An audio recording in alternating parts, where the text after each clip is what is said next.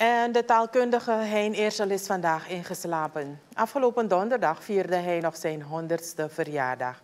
De familie liet weten dat zijn gezondheid de afgelopen periode wat achteruit uh, was gegaan. Hoewel zijn honderdste verjaardag in familiekring is gevierd, is deze dag niet onopgemerkt voorbij gegaan. Minister Marie Levens van Onderwijs, Wetenschap en Cultuur heeft op Eersel zijn jaardag het Hein Eersel Instituut aangekondigd.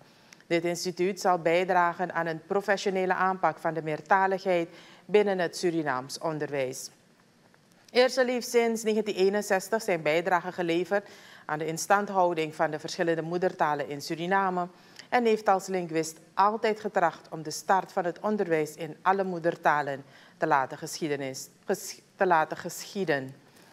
Staf en personeel van ATV condoleren de nabestaanden met het verlies van Hein Eersel.